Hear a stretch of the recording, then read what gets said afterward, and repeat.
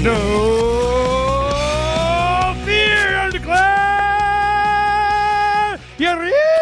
here in Lancaster, New Hampshire at PorcFest 12, where we're rocking and rolling and whatnot here in the last day, the last day, second to the last hour of Declare Your Independence here at Porcupine Freedom Festival 12, where we have interesting discussions. You need to go to the archive all next week. You know, I'm going to be on vacation, so you have a lot to get caught up on. You missed it, you missed it, you missed it. Go to the archive. Now, this is what we're going to be doing in this hour. We have Paige Peterson is in here to explain uh, MaidSafe because the MaidSafe Network, Safe Network, this provides us an opportunity to do the, the dream, the dream, the dream of Stephan Kinsella.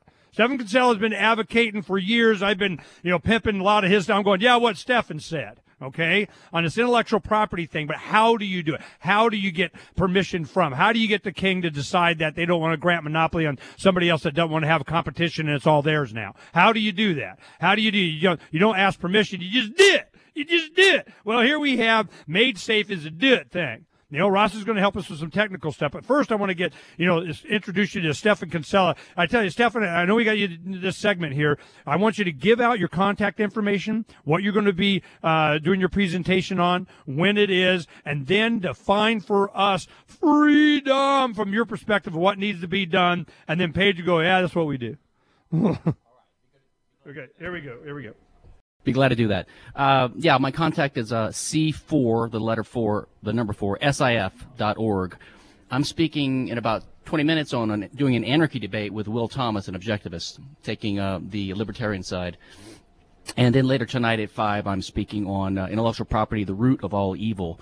And uh, I think related to this context here of technology and file sharing and copying and the Bitcoin protocol and technology, uh, the, the, basic thing is proponents of patent and copyright, which they call intellectual property erroneously, um, they say that with the increase in the importance of knowledge, technology, information, that patent and copyright laws are ever more important. Now, our view is the exact opposite, that they're ever more dangerous, and that's why they're being ratcheted up. In fact, just last week, Obama finally got his trade promotion authority, the fast track authority, which is going to usher through the TPP, the Trans Pacific Partnership, I thought they were stopping, resisting, and didn't, and you weren't allowed, and it wasn't going to have made us feel like it wasn't going to happen. It happened. They they made us feel like that, so that we it, went away. Done? So there's not a SOPA uprising, but TPP I'm certain will pass, and so will the TTIP, which is a European version, and the Trade and Services Agreement, all of which expand U.S. intellectual property laws across the world, which has nothing to do with uh, with free trade.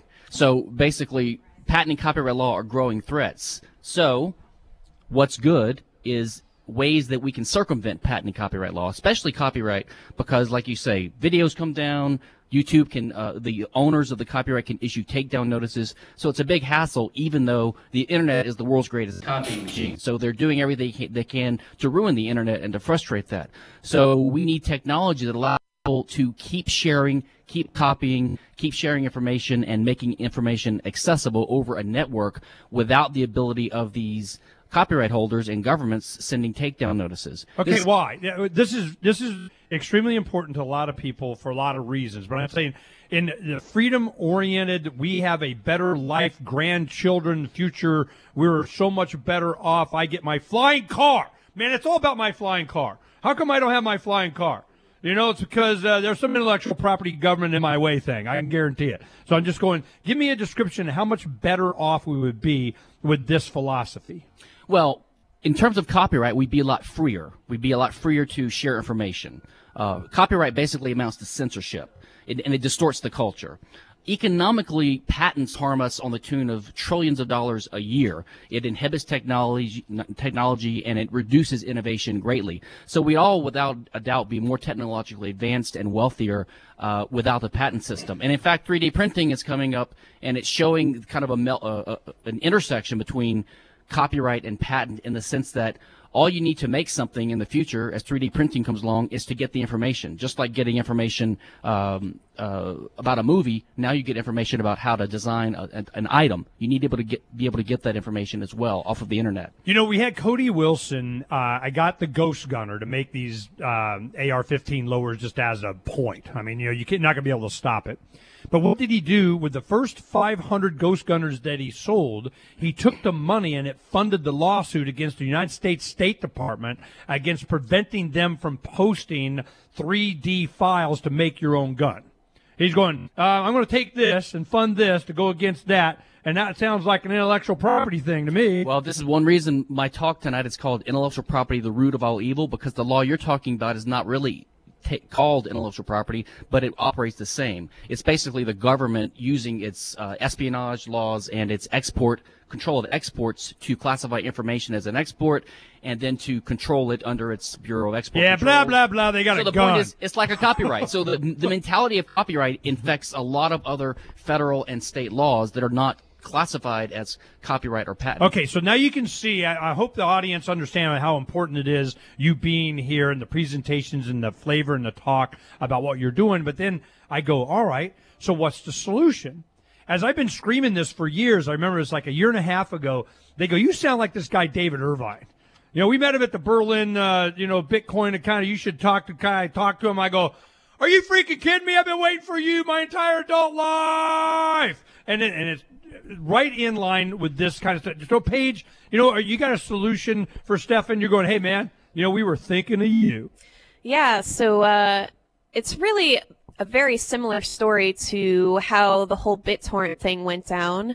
Um, like, it, there's really no stopping it. They can target people, they can make examples of people, but in the end, there's no real stopping it. What MaidSafe is doing is taking that model and bringing it an extra step. So with BitTorrent, you don't have encryption and security built in, and um, and it's not really as efficient as it could be uh, the way it stores data.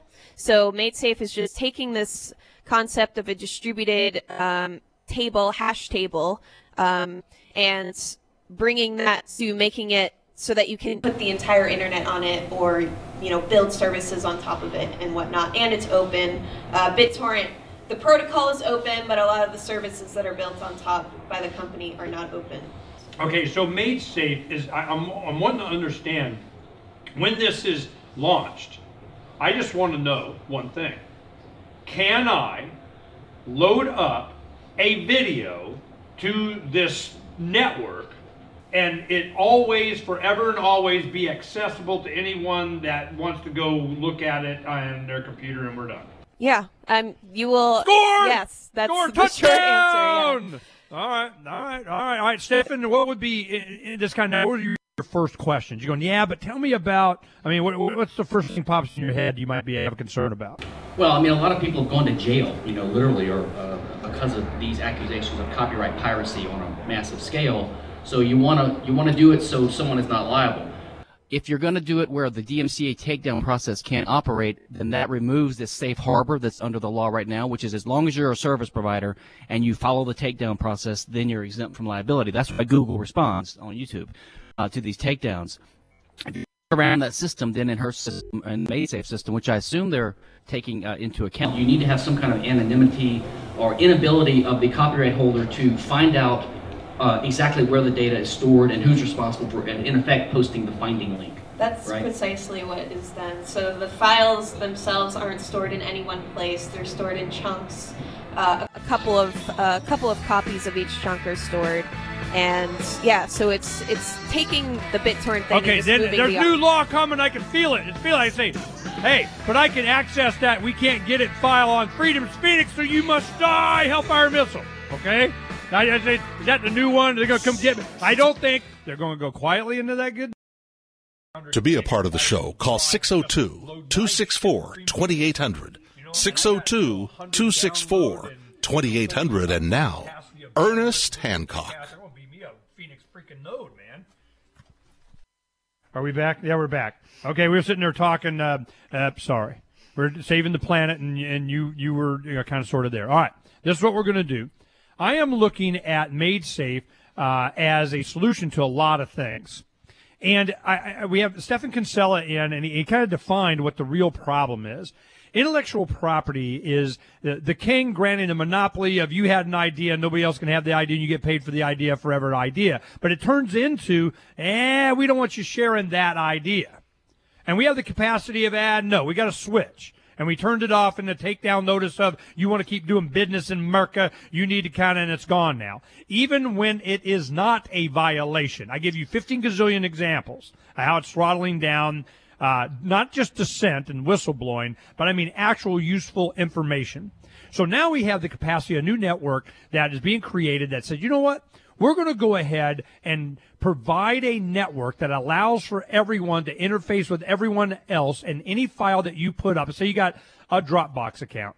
You got your Gmail. You got your grid of I'm on the man's uh, the Amazon cloud of every search I ever had right next on the hard drive to the CIA's next Yemen drone strike. Okay, I mean we, we could do that, you know, or we can go ahead and have our own network that's our own computers that interface with each other. As a young activist in the 90s, this is how I thought the internet was going to evolve.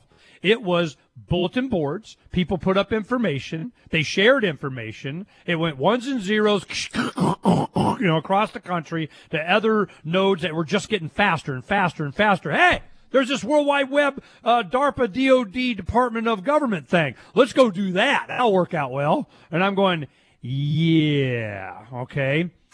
You had a lot of services built on this foundation of the king's sand.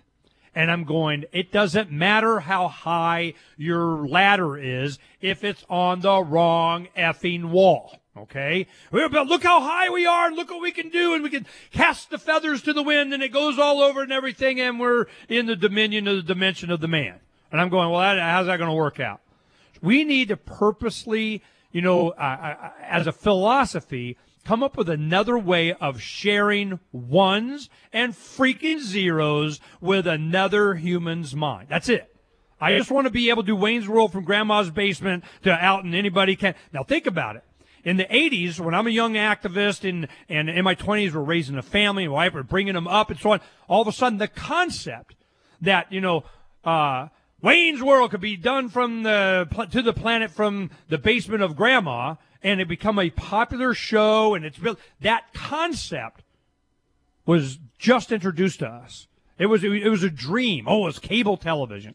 Then here comes, you know, um, uh, the internet. And oh my God, well, we get video on that. I'll never have video. What are you, stupid boy? You don't gotta go. Yeah. Well, Freedom's Phoenix was in our mind in 96. We had all developed. We were waiting for bandwidth. We were waiting for video. We were waiting for the technology to get caught up. YouTube hit, pulled the trigger 10 years. Freedom's Phoenix. We keep developing along the lines of waiting for MaidSafe when I'm going, I'm d- describing what has, I go, how come we're not doing this and this? And you got the blockchain technology of the encryption of sharing them ones and zeros, and you got, you know, CubeSats coming up. We got outer hell. We had the Iridium satellite constellation in the 90s. This is all probably, it's right freaking there. We go to Spaceship One. We're out there with the signs. We're going to space and government's not invited. Spaceship One, government zero. Okay? We had those signs. So I understood, and my hope and my dream was, was the ability to be able to communicate ones and zeros. I don't care if it's blockchain, Bitcoin, transaction, financial, how to make hemp oil to cure your cancer. If I want to watch a video and kind of a little bit of a snippet of a rejoinder piece of Led Zeppelin, if I, you know, and they can suck it. Okay. This is now at our fingertips. This whole concept hardware and software have gotten to the point to where every individual can communicate with every individual on the planet. That has to be dangerous to the man. So they are going, no, we're going to throttle and control and limit and you're not allowed. On what? I don't know. Whatever we say, we got an excuse. We'll make it up. Don't worry about it. You know? So what are they coming after? Opinion. They're coming after dissent. They're coming after whistleblowing. They're coming, you know, in the, the transparency, open uh, administration whoever next you know, you know, vote for nobody because nobody's going to, you know, end the wars and nobody's going to, you know, lower the taxes and nobody's going to stop getting out. So I, I'll vote for nobody. Okay, what the hell, you know? So now we're looking at MaidSafe.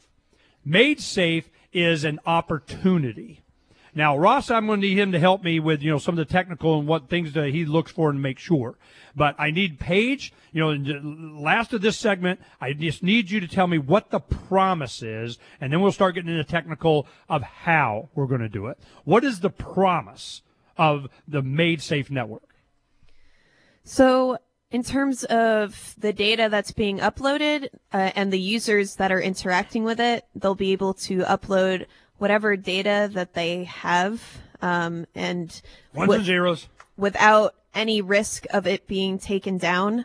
Um, in fact, there's there isn't even a way to take down data if you want to take it down at this point. Uh, we might add that in later, but it's or not. It's kind of perpetual data at this point. So it's uh, and it's going to enable this data not to be seen if you don't want it to be seen or to be seen widely if you do want it to be seen. There's ability for, um, so it really is like an infrastructure for software to be built on top of. So there'll be a whole market of different applications that you'll be able to use. It'll, it's essentially an alternative internet that doesn't use servers. So if you can imagine everything that's developed o- over the past uh, couple decades with um, the current server-based internet, you can kind of imagine a similar path, but a more freeing path uh, to be taken with a decentralized network. Okay, now this is my first question. I'm going, okay, so we have this decentralized of everybody gets to, and you still have ISPs. I still have my Cox, Verizon, AT&T if I rule you. And then I go, all right, what's my email? My first email was, you know, back in the, the safe at indirect.com 93 of I don't have it anymore. Okay. I got uh, Ernest Hancock at cox.net. Well, that's whose is that?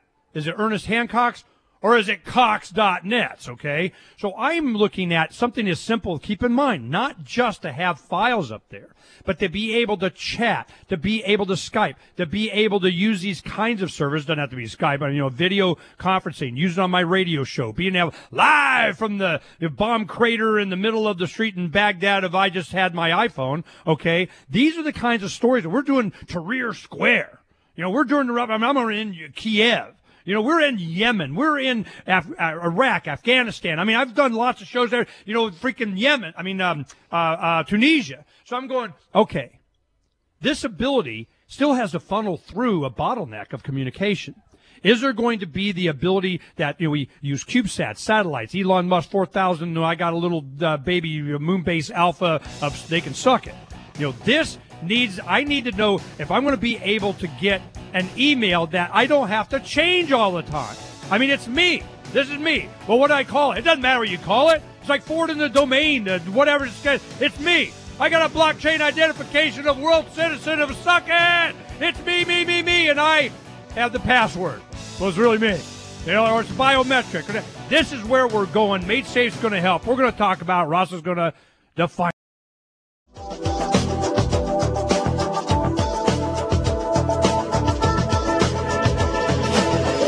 Welcome back to Declare Your Independence of me, Ernest Hancock here at PorcFest 12. PorcFest 12. Oh, and it's a, really easy to declare your independence. Really easy. You go like this. You go like this. You go, ah, declare my independence. See how easy it was? No government form. You won't be finding any forms up here. As you know, the man showed up on, on Monday, I think it was. They were going to, hey, we need to explain it to you. You know, you guys, uh, you don't have enough. You're not formed up. We got the form right here for you. Don't you want to comply and be a good guy? And uh, Crosby comes in. He goes, "Hey man, I'm, I'm you know, send the girls out. I, I wasn't here when they came in. They wouldn't have got back past the front gate. Get their ass in here in the restaurant. And while the crowds are out, you know, pitchforks and torches, pitchforks and torches. And they go, he goes, "Hey man, I'm just saving you. You know, just give me the forms and I'll kind of peace out." They leave, and he's like, "Man, they dodged a bullet."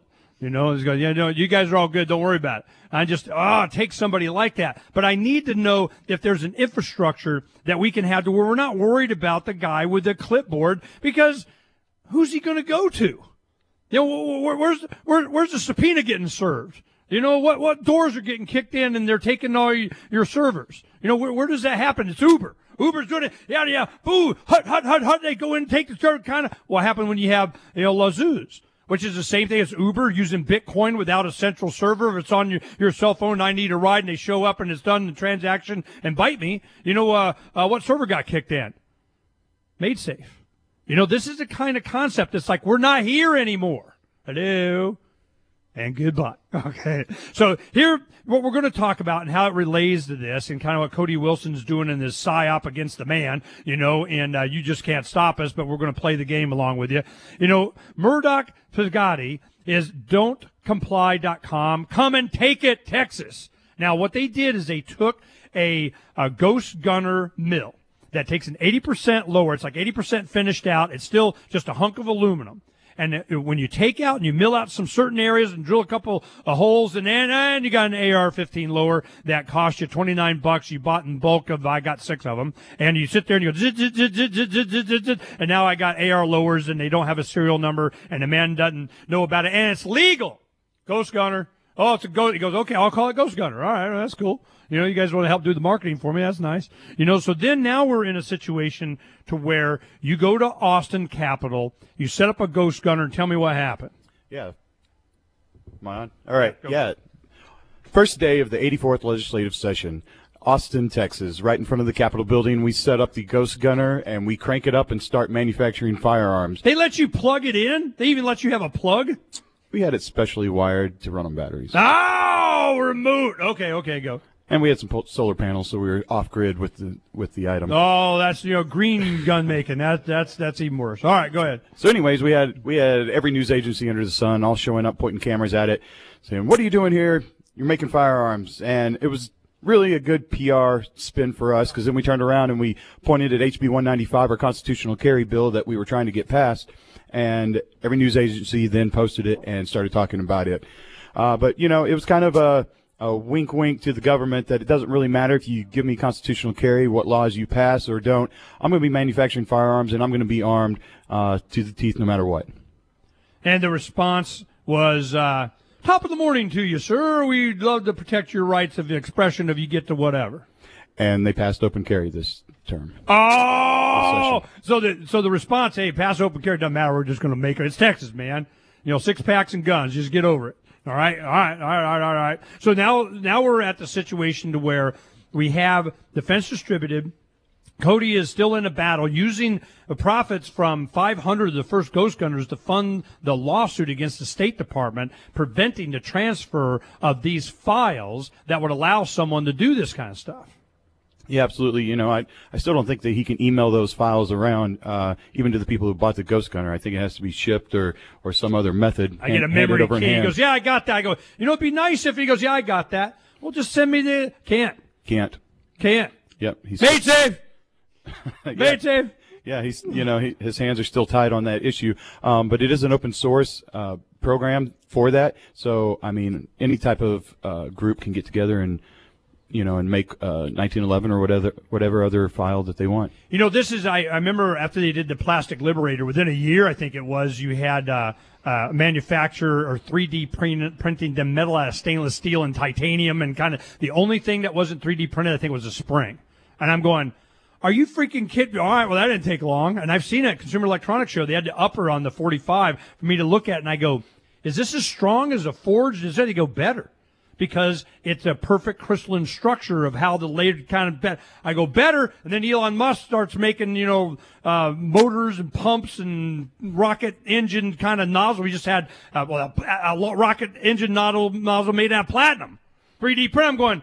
Oh, it's so freaking over. But I'm telling you, you can understand why this MaidSafe thing is important in that the very side, the ones and the ones and the ones and the freaking zero. I mean, it's ones and zeros, seriously. Okay? I'm going, they're like, nope, not allowed. Oh, well, it doesn't matter what you say. It doesn't make any difference with this appeal to you. Yeah, absolutely. I mean, that's what we're looking to do is spread information and and, and put this type of uh, technology in the hands of everybody. You know, we, we, you don't need a certain skill set to make a gun anymore. You just need a computer and a fairly cheap machine and hit enter.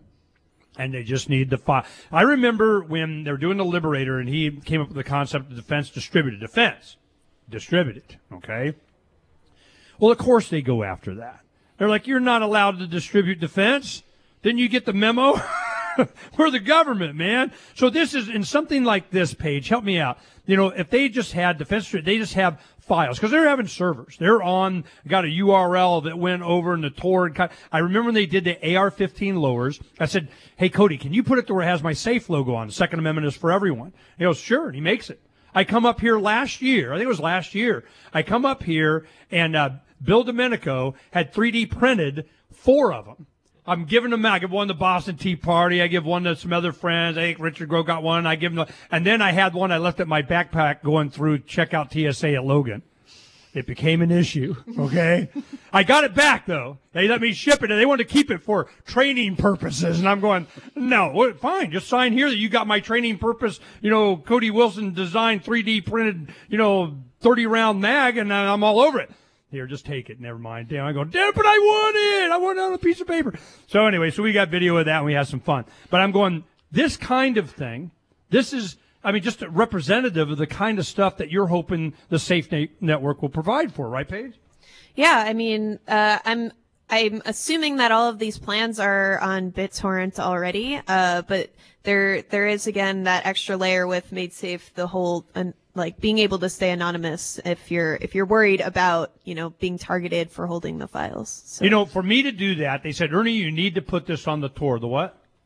BitTorrent. Yeah, so, well, whatever it is, man. Or, you know, there's a thing. Yeah. I had to. I got to download a thing, right? So I download a thing. I put the take the file and I put it up. And they said you have to make your computer available for this to be a node of it gets copied of somebody and it propagates out of the whatever. And it suck up all my RAM and you know memory and kind of go wait wait wait wait. I didn't want to devote a computer just to put one damn file up. I mean, what the hell? So anyway, so I did that for a while. The file got out there and now it's done. I can turn it off and it's peace. I can go find it. It's out there somewhere.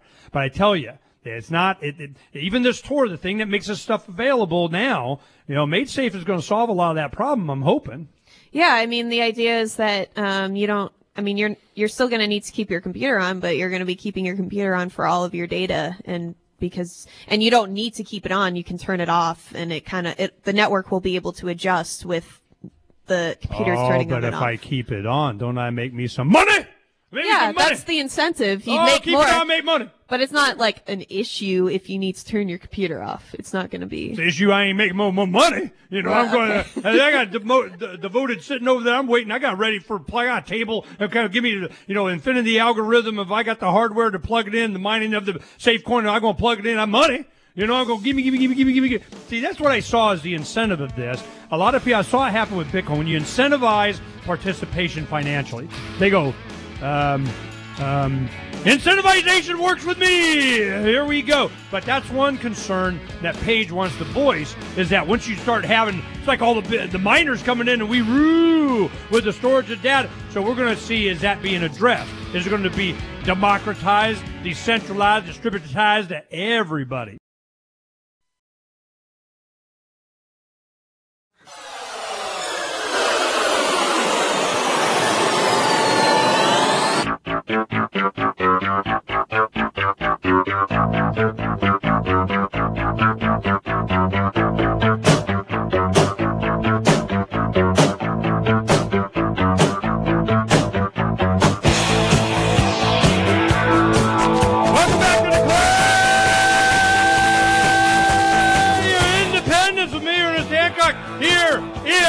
Lancaster, New Hampshire at PorcFest 12.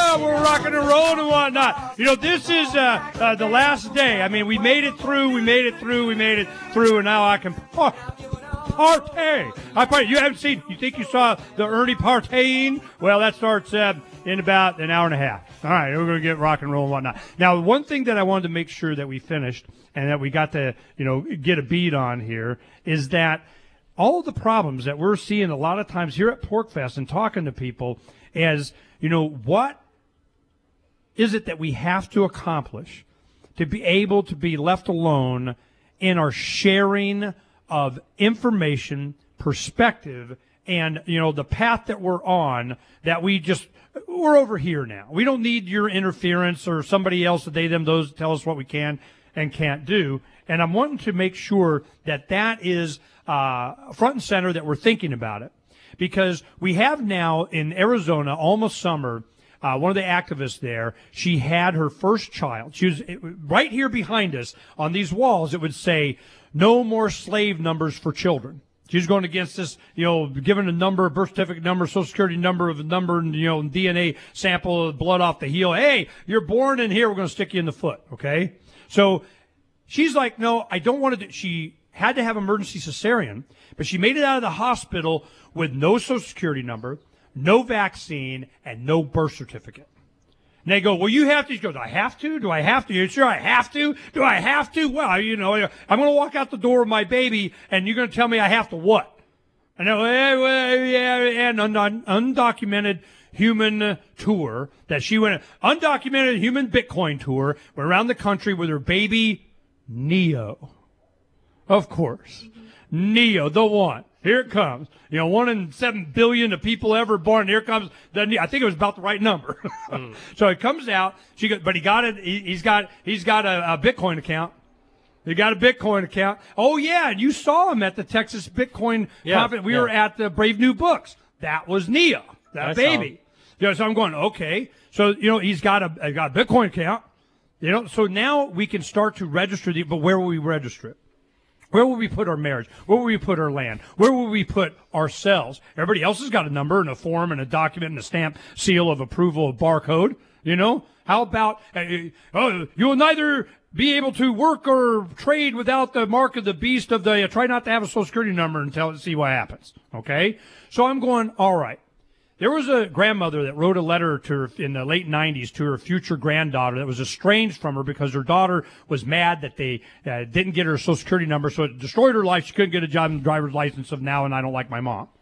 So she goes to her granddaughter, and the letter it said, I always was a, a lot of other things. It wasn't very long, but the main part that I remember was I always knew not to give a government number to my children because I knew that the rancher always wants to mark their cattle. And I go, enough said. I get it.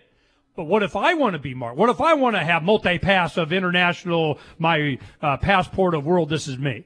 Can I put it encrypted on a biometric of I gotten my Bitcoin, altcoin of whatever coin I want to transact and travel and have a deal with the airline if I get then this is me? You know, can I voluntarily do that? Where do I register it? Where do I have that? I have the same email for, or the same, be able to communicate me, and it could be telephonically, it could be by mm-hmm. text, it could be by Skype, you know, or video conferencing. So this is what I need. I have the data. Okay, we got MaidSafe for doing that data. What about the marking of me not being tracked by a satellite of the man, but by my mom and my daughter and my grandkids? You see my point? Yeah, I mean the the the basic idea of what you're trying to say is like having being able to own your identity and being able to share the the information from that identity in certain circumstances uh, based And on not certain others. situations and not have it public to uh, a huge group of people that um, you know say what you can and can't do. So that's that's very much possible with a, a lot of decentralized networks, but um, the ability, I think, the ability to be anonymous with that identity is what MaidSafe will uh, really push forward. Now, this is an infrastructure for these kinds of options and abilities to be built on as what? An app, a program, Yeah. interfacing something? What? Yeah, so this is like an underlying infrastructure and applications will be built on top. We have developers that are interested and already interested in making the basic applications, messaging applications, you know, contact list applications. So it's going to happen. It might I take keep my black book encrypted on MaidSafe. Yeah, sure. Of course. Of course. one name of my wife. I bailed myself out of that one. Okay.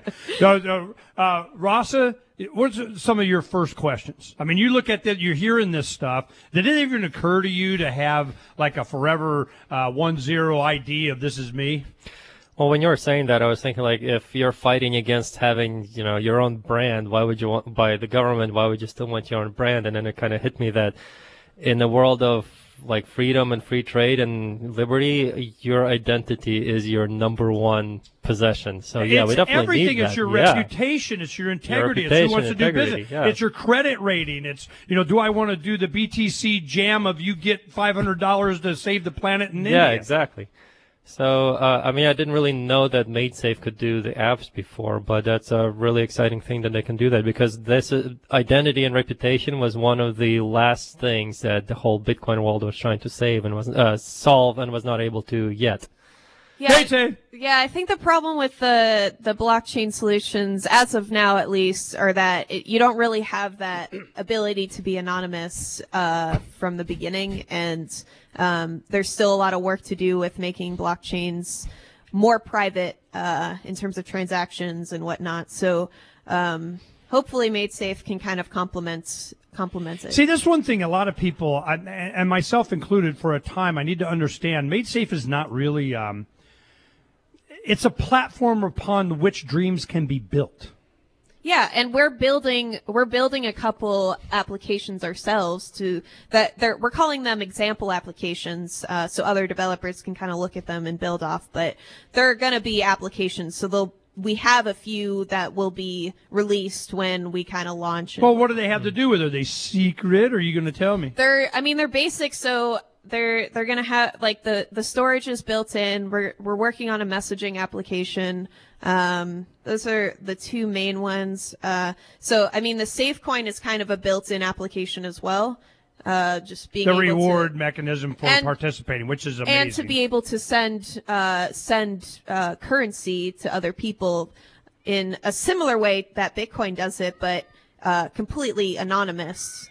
Um, I think that's that could kind of bring uh, An end and death to Bitcoin. Yeah, right. hey, hey, you say that. Okay. All right, Mr. Super saying Big Brain Box Rasa Dimitri, you know, uh, see what I said? Marachik. Marachik. Sure. Rod, Yeah. guy, no, guy, help me out, man. Okay, Dimitri, you know, it's a Dimitri Big Brain Box versus Little Brain Box, Ernie Hancock. Let me tell you what, you know, the, the opinion is. I am like, you know, the second they have anonymous integrated with everybody kind of ones and zeros to anybody to whatever the one address of somebody and that's you know biometrically I know and you say it's you and I believe and we're communicating ones and zeros cryptocurrency whatever. When that happens it's going to replace everything else. Okay? Mm-hmm. In my opinion. So eventually. Yeah. so and, and, and even more if we you know we're getting into Goldman Sachs Bitcoin Mm. out of my pocket you know so I'm just I, I understand you know it's powerful it's a big network but No, the I re- mean, I was just like regarding MaidSafe. I am really hoping that the point of MaidSafe coin is to reward you for hard drive storage, so that the coins will be linked to the amount of hard drive storage there is, and it'll be a market between where the coins are equal to hard drive space. Yeah, well, not just hard drive space, but providing ones and zeros to the network and bandwidth. Yeah. it's about the resources. So you need bandwidth, obviously. You Yeah, need but you don't want that same thing to be your money too, because then your money will be based on inflation of hard drive storage space. So they, uh, they're very, very good, different specific uses for each one, is what I'm thinking. Shapeshift. You know, then what am I doing? You know, then I'm going. Then I'm going over to Shapeshift and I'm saying, hey, uh, uh, I want to trade this in at the time of the market of every time of I get and I go to the end of something else and next. I love Shapeshift. I know the crypt, the cryptocurrency. You know, it's it's going to be outside of demand. It's going to be controlled by you know demand and supply. Oh my goodness, what shall we do? What shall we do? We're going to talk about more in the next hour. We have uh, uh, Luke Rudkowski. Well, if he doesn't show up, which you know is entirely likely, he was partying pretty hard. You know, we have Luke Rudkowski. Got to hear these stories. We're going to be talking about a lot of the same stuff as it applies these ones and zeros. And then Lisa Arbacheski wants to talk about Ross Ulbricht and her plans. We'll give her a moment.